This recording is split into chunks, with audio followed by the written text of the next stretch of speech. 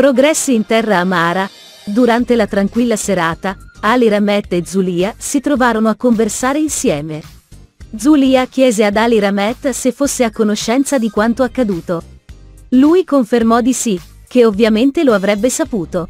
Ilmaz era una persona molto buona, ma portava molte ferite. Fu confortante sapere che tutto il denaro che Ilmaz possedeva sarebbe stato di grande aiuto per l'agenzia e i bambini orfani in generale.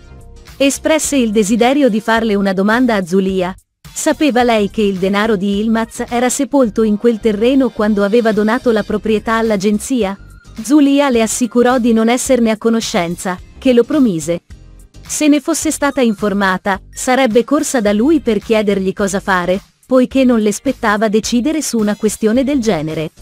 Tuttavia, era felice, come lo era anche lui, che l'eredità di Ilmaz potesse aiutare così tanti bambini bisognosi. Capiva Mujeigan, che pensava al futuro del suo figlio come madre, e comprendeva la sua angoscia. Ali Ramet le disse di non sentirsi in colpa, Ilmaz amava i suoi figli allo stesso modo. Per questo motivo, lui e Ilmaz avevano creato un fondo per Kere Mali con 30 milioni di lire.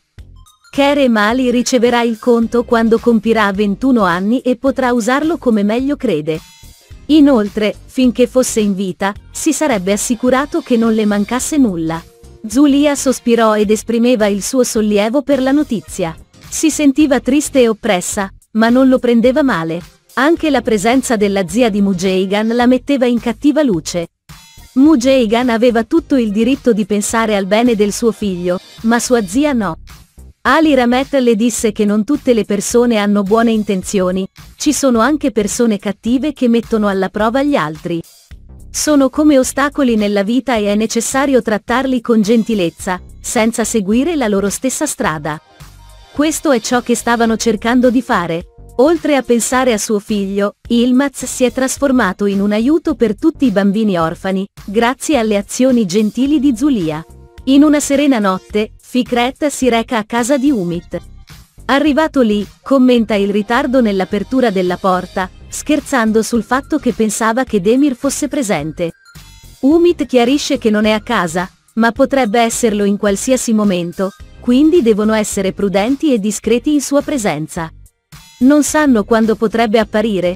Fikret sorride e la incita a continuare, chiedendole cosa sta succedendo. Umit gli confessa che non c'è nulla che non possa ottenere.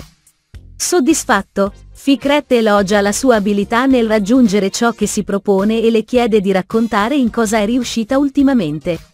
Umit, orgogliosa e soddisfatta, racconta come ha organizzato tutto affinché Demir andasse a casa sua.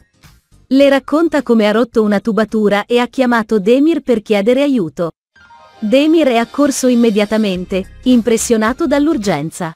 Fikret acconsente, riconoscendo la sua astuzia, e commenta la sua pericolosità. Umit continua a narrare che, in segno di gratitudine, gli ha preparato un caffè e ha avuto un momento intenso guardando Demir negli occhi prima di andarsene. Crede che sia stato un passo importante, Fikret approva la sua strategia e suggerisce di continuare a esercitare pressione su Demir, poiché Zulia è ancora in lutto per la perdita di Ilmaz e non gli permette di avvicinarsi. Umita consente e Fikret prosegue con il suo piano machiavellico. Le dice che tutta la città vedrà la vera natura di Demir, un uomo che inganna sua moglie, simile a suo padre, Adnan. Sono certi che Demir subirà le conseguenze delle sue azioni. Fikret assicura che lei prenderà possesso dei beni di Demir e distruggerà la sua famiglia, dopodiché saranno liberi di andare dove desiderano. Umit, preoccupata per la gravità del piano, chiede come intendono mettere in atto l'esecuzione e se hanno intenzione di fare del male fisico a Demir o addirittura ucciderlo. Fikret, con determinazione, rivela che hanno in mente qualcosa di ancora peggiore, qualcosa che farà desiderare a Demir di essere morto piuttosto che affrontare ciò che hanno preparato per lui. Le assicura che lei è un pilastro cruciale nel loro piano e le ricorda che faranno tutto insieme. In un momento di intimità, Fikret cerca di avvicinarsi a Umit per accarezzarle il viso, ma lei si allontana, suscitando la domanda sul perché sia così distante. Umit, cercando di nascondere i suoi sentimenti, le dice che è semplicemente stanca e ha bisogno di riposare. Fikret, insoddisfatta della risposta, le tiene forte il viso e le avverte che non può permettersi di innamorarsi di Demir, poiché ciò rovinerebbe i loro piani.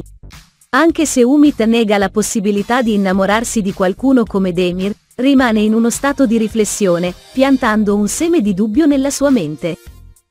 Dopo una discussione tesa con Demir, Beakkais e Mujeigan si trovano dentro casa, discutendo intensamente sull'argomento. In quel momento, Mujeigan racconta a sua zia Beakkais sull'eredità che Ilmaz ha lasciato a suo figlio e le spiega le condizioni poste affinché Kere Mali possa utilizzare i soldi. Questo infastidisce Beakkais, che non capisce perché siano state poste quelle restrizioni. Mujeigan le risponde che comprende sì e che è felice che le condizioni siano quelle. Beakkais le rimprovera di star diventando pazza, a cui Mujeigan risponde che no, sarebbe arrabbiata se il denaro non fosse per suo figlio e se non potesse usarlo per costruirsi una vita. Beakkais le dice che si riferisce a un conto che lei non toccherà fino a quando Kere Mali non avrà 21 anni. Mujeigan replica che non ha bisogno di toccare i suoi soldi allora.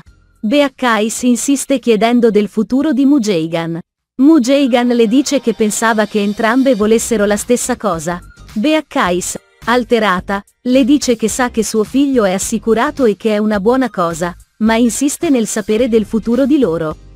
Mujeigan le risponde che ha tutto ciò che desidera, vive in una casa bellissima e se voleva un altro posto, ora ce l'ha.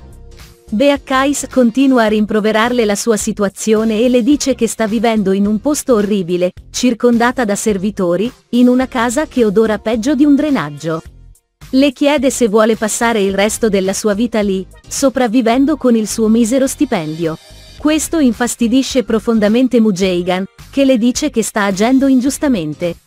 Beakkais le assicura che non vuole più dipendere da Ali Ramet né vivere dei suoi soldi. Mujeigan le avvisa che non dimentichi che lei non ha bisogno di prendersi cura di lei. Le dice che non si è mai davvero preoccupata per Keremali, che non le importava se il suo matrimonio si rompeva o se lei piangeva, che pensava solo a se stessa. Beakkais le assicura di non fraintenderla, sa che a volte non riesce a controllarsi a causa del suo temperamento, ma pensa anche a Keremali e a se stessa. Le dice a Mujeigan di non arrabbiarsi, ma questa le risponde che è la prima volta che vede tutto così chiaramente e capisce tutto ciò che le sta dicendo. Pensava che Beakkais la volesse per tutto questo tempo, che tutto ciò che faceva fosse per proteggerla lei e suo figlio. Pensava che a Beakkais interessasse il futuro di Kere Mali perché è sua zia e l'ha sempre apprezzata. Non ha mai creduto a ciò che gli altri le dicevano su di lei e l'ha sempre difesa, Pensava che non avesse nessun altro al mondo oltre a sua zia, aveva fiducia in lei completamente e avrebbe fatto qualsiasi cosa per il suo bene. Quando Mujeigan si prepara a andarsene, Beakkais la afferra per il braccio e le chiede di non andarsene arrabbiata. Mujeigan le dice che è abbastanza, che la sua famiglia è finita da oggi e vuole stare lontana, perché da questo momento in poi non esiste più per lei. Poi se ne va. Questa è l'anteprima di oggi, grazie mille.